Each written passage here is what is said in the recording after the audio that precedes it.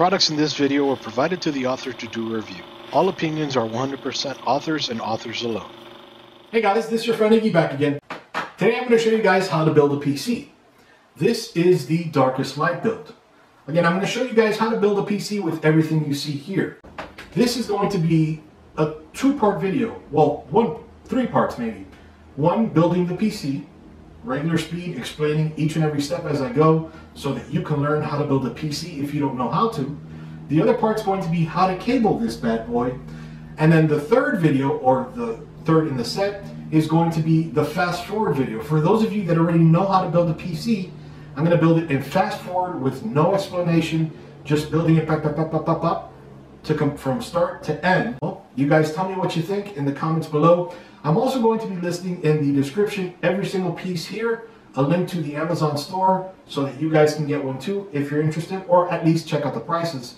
But anyway, come over here real quick. I'm super excited to get started on this build. This is the fast forward edition.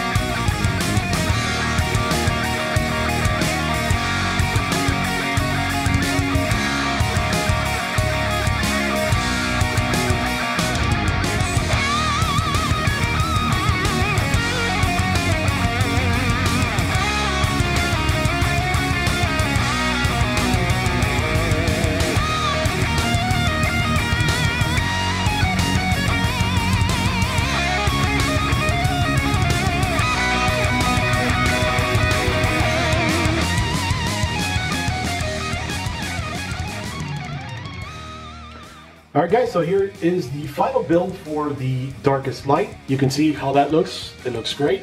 No cables around here.